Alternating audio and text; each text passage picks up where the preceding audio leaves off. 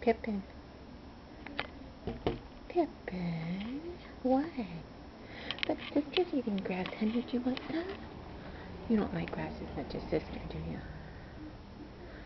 Look at her. Isn't she beautiful? Want some grass? Mommy's got bunches of seeds. She'll grow more grass for you, okay? So eat it all up. It's good for your tummy. Mm-hmm. Look how cute she is. Pippin. Okay, mommy's gotta get up, guys. This filmmaking stuff's hard on my knees. Okay, are you still being cute? Oh no, she's not. looking at. Okay, I'll stop.